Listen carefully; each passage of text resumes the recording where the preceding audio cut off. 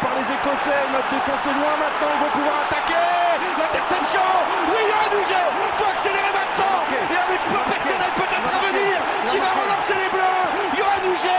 Troisième essai dans ce tournoi destination. Merci Johan. Parce que là, c'était une occasion d'essai. Oui, trois, monsieur.